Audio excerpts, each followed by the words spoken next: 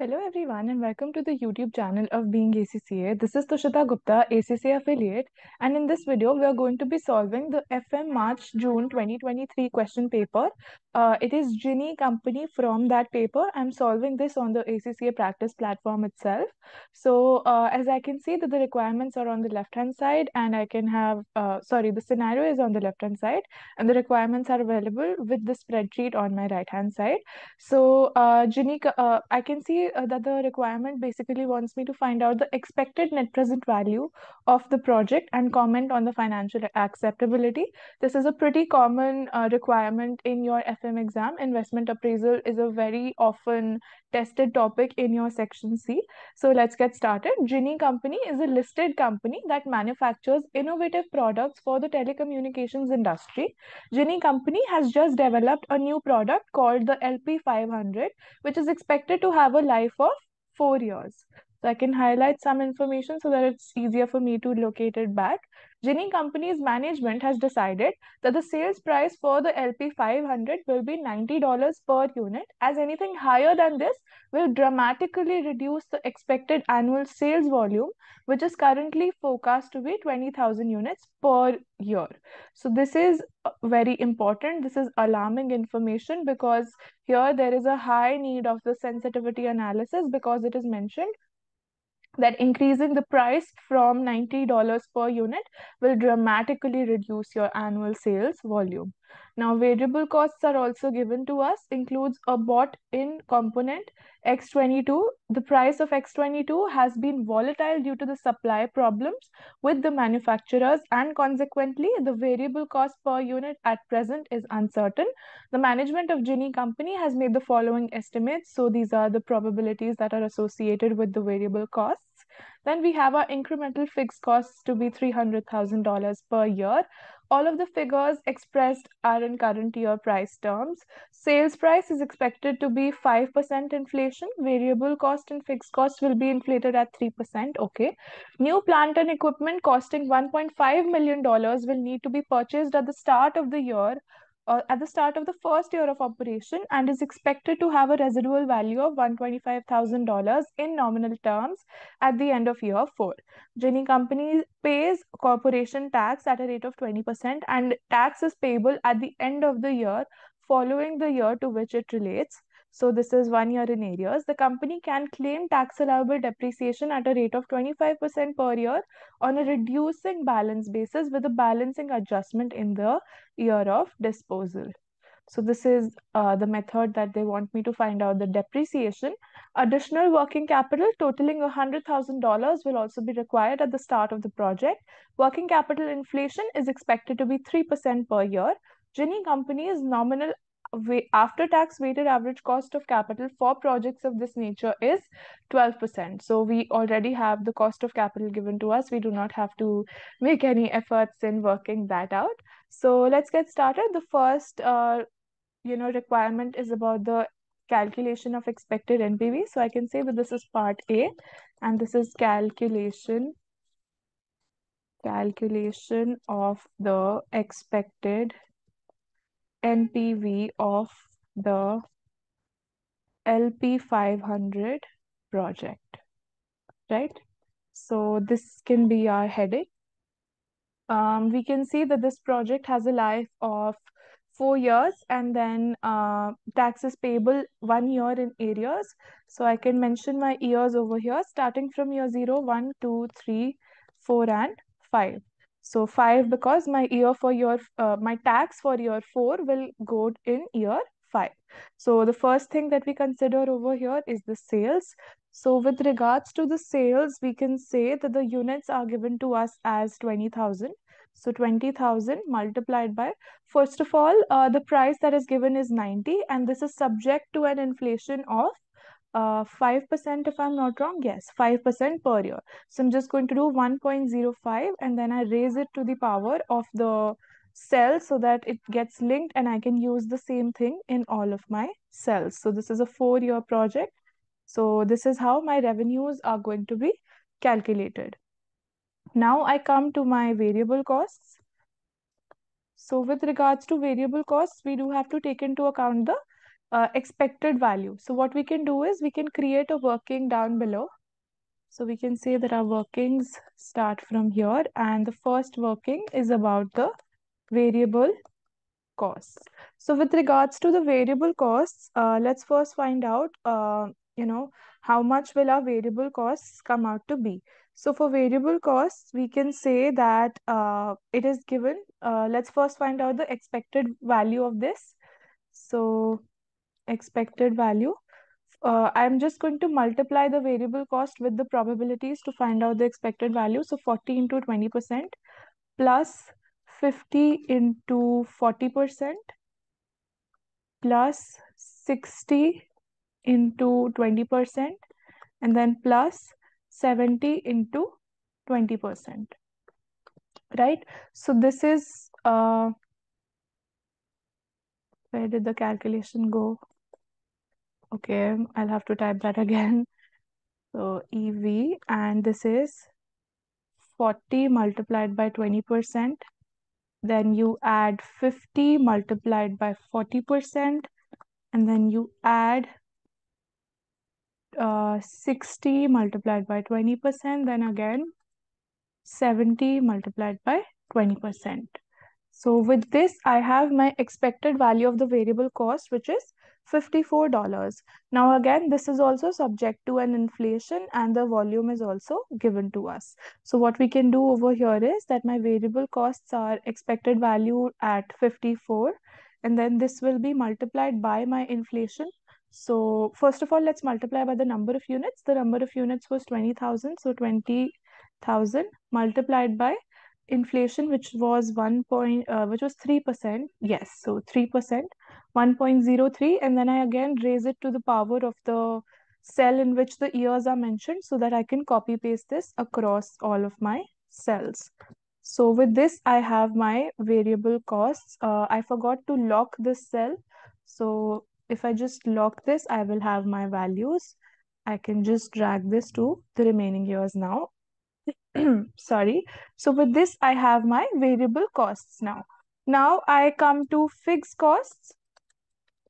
I can mention over here that my variable costs have been arrived at from working one so that the examiner knows that this is where I have found out what was my expected value. Now I have a look at the fixed costs. So with regards to fixed costs, it is mentioned that uh, uh, that uh, the incremental fixed costs are going to be 300,000 per year. So my fixed costs uh, again will be subject to inflation. So 300, 1, 2, 3 and then I multiply this with 1.03 which was the inflation which was given for the fixed cost and I will raise it to the power of the year and again I can drag this to the remaining years also. So this is my variable cost. Now I can find out how much my taxable flows will be. So my taxable flows will be sales minus my variable costs and minus my fixed costs. Again, I can paste this formula to the remaining cells also. So these are my flows on which tax will be charged. So now uh, the rate of tax is given to us at 20%. So let's find out tax at 20%, right?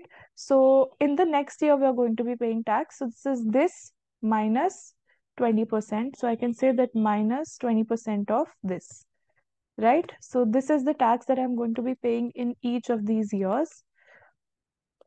Uh, right. So these are my taxation figures. This is 93.7, 104, 115, and 126.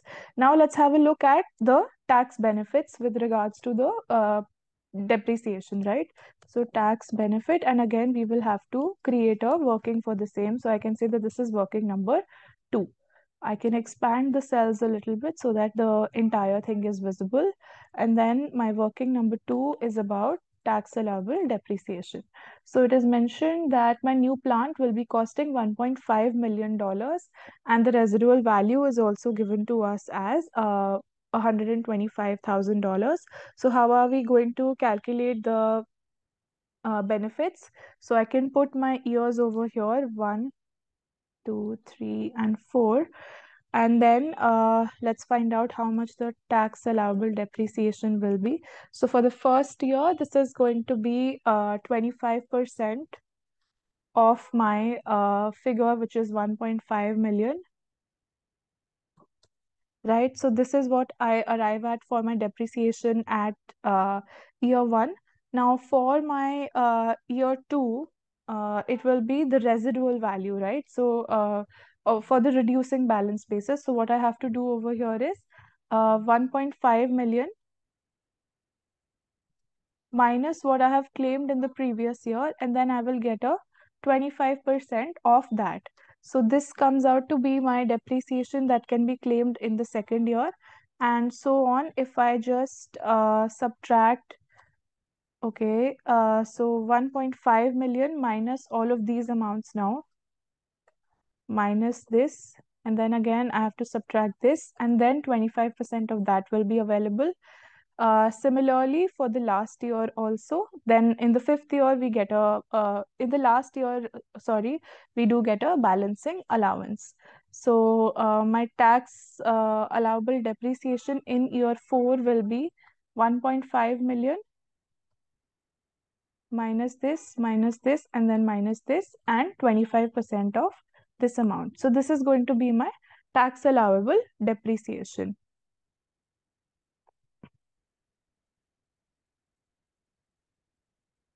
Right. So with regards to my last year, it is mentioned that there will be a balancing adjustment in the year of disposal. So first of all, I need to find out how much my residual value will be. So this is the value that I have at the end of this time. And if I subtract my scrap value, which is 125,000, with this I have the residual value that I have at year 4. Now on this, I will get a benefit of 20%. So uh, we can find out the tax benefit as tax benefit and this will be 20% of this figure right above. So 20% of this and I can drag this to the rest of the cells also. Now this is the amount of tax benefit that I'm going to be getting because of this capital expenditure. So I can link these cells over here for the first year I'm going to get it in uh, the second year. So this is going to be my benefit. And then similarly, if I drag this, I will have it for the rest of the years also. So now I have completed my tax benefit figures as well. Now let's have a look at what is the next item that we are going to take for our NPV calculation. Now that we have adjusted for tax, first let's find out what will be the after tax cash flow. So my after tax cash flow will be nothing but the sum of all these figures, taxable flows minus tax plus the tax benefit. So it will be the sum of these three figures over here. I can copy paste this to the remaining cells and with this I have my uh, figures, right? So now I move on to uh, the working capital and then I also have my initial investment as well as my residual value. So first of all, with regards to the working capital, uh, it is mentioned that in the initial period, we are going to have to take the working capital of a $100,000. So first of all, in year zero, there's going to be an outflow of a 100,000. And then every year, we are going to have to uh, inflate it by 3%. So my outflow will be nothing but the 3% of this figure. So this is the, uh, you know, capital. Then again, in the next year, it will be 1.03 multiplied by the working capital which I currently have. So multiplied by the sum of these two. Right? So, uh, sorry, only the 3% of that because that's the incremental amount, right?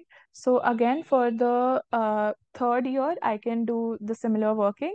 I can just uh, add the working capital that I have currently, and then I can take the 3% of that because 3% will be the incremental right? Now this is the total uh, now these are the incremental capitals that we are having.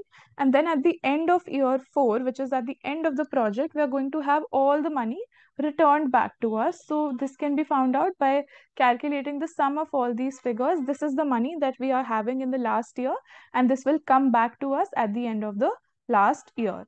Now, uh, let's talk about the initial investment as well as the scrap value. So, initial investment was uh, $1.5 million. So, minus 1500000. And then I take my scrap value. So, my scrap value that I have is 125,000 and this I will be getting in the year 4. So this is my scrap value and then uh, again this is a positive uh, figure that I'm showing because this is going to be an inflow. Now I can find out how much are my net cash flows and then I can put the discount factor on them. So my net cash flows will be um, for the year zero, it's going to be the sum of these two figures only. And then for the remaining ones, I can say that uh, after tax cash flows and then adjusting for all of the things that we have just done. So this will give you the cash flows for the rest of the years as well. And these are the net cash flows that we arrive at uh, after having performed all of our calculations, right? And now I have my discount rate given to me as 12% it is right over here that the weighted average cost of capital is 12% for these projects. And then I can say the NPV will be, I am simply going to use the NPV formula over here. Here I've put my discount rate, selecting my values from here till here. This will give me the uh, discounted values of year one to five cash flows. And then I add the year zero cash flows because I do not want to discount them and adding why because the minus sign is already present over there. So with this, I have arrived at my NPV figure.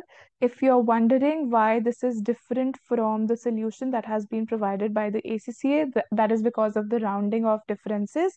Uh, so the ACCA solution says that it is roughly $80,000 uh, and my answer is 78,213 and that is why uh, why that happens is because I have uh, performed all of my workings in full figures where they have used uh, thou uh, thousands of workings and that is why this rounding of difference has arisen. Now uh, I can highlight this as well to show that this is my final answer. Then after my workings, uh, I am left with just last thing and that is commenting on the financial acceptability. So we'll say over here that since the NPV is positive, we'll say that the NPV is positive project is financially acceptable. However, we did saw something alarming earlier, right? So what was that? We are assuming that the, uh, first of all, uh, one assumption that we have made over here is about the variable cost. We have only taken an expected value. So there is a 60% chance that the variable cost per unit could be less than 54. There's a 60% chance, right?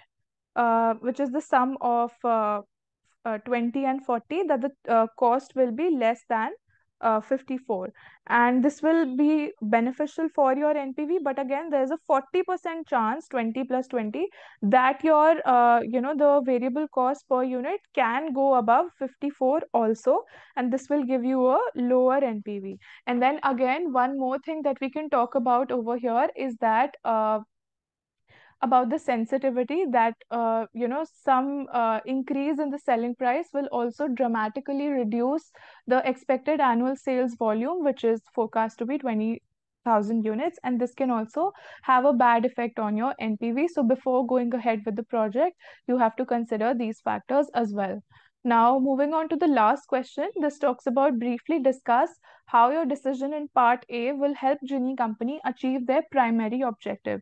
Now, this is already uh, pre-populated for you. The format is already given to you. No need to work hard for that also. So we have the uh, how do we achieve the primary objective?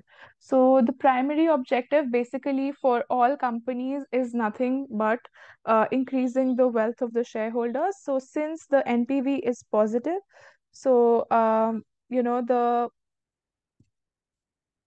uh, the objective basically remains maximizing the wealth of the shareholders and uh, it is given over here that they are a listed company that means they are a for-profit organization. So the positive NPV will basically add to the wealth of the shareholders, and this is how they will be, uh, you know, achieving their primary objective. So with regards to primary objective, you have to talk about NPV adding to the wealth of the shareholders.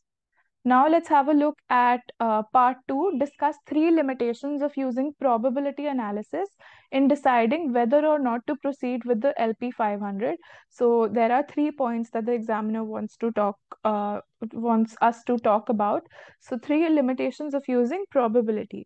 So first of all, what we can write over here is that probabilities are uh, long run averages like probabilities work well when there are there are a long run data available and there are a number of repetitions also.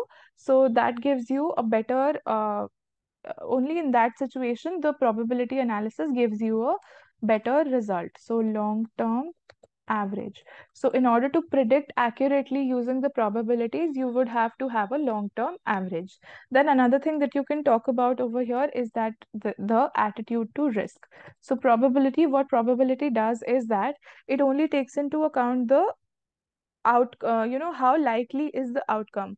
But it also ignores the risks uh, risk that is involved in this. So if Gini company you know likes to take into consideration all the risks there are chances that there will be a negative npv and on the other hand if they are you know all up for adventures they can go ahead with the 60% chance of variable cost per unit being less than $54 now let's talk about the third point that you can write over here is uh, the variability of the outcome. So as we see over here that uh, you know the poss- the probabilities that are given to us are uh, 20%, 40%, 20%, and 20%. So maybe what you actually achieve would not be any of these outcomes, right? So there is a possibility that you get some value in the middle of these. So the variability of the outcomes is another limitation that probability analysis has. So with this, we have come to an end to this question. Thank you so much for watching this video. Please feel free to comment down any doubts that you have. Also, you can approach us on Instagram at being ACCA. Uh, I hope that this was useful. Stay tuned for the next one. Thanks for watching.